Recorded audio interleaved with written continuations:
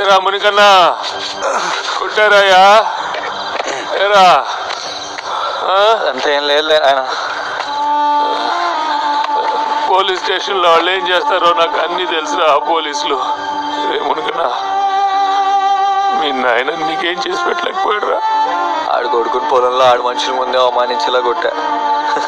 ఇది గుడి చేయకపోతే ఇంకా ఆడేంతండి ఏం పర్లేదు నాయన నేను వచ్చాను కదా.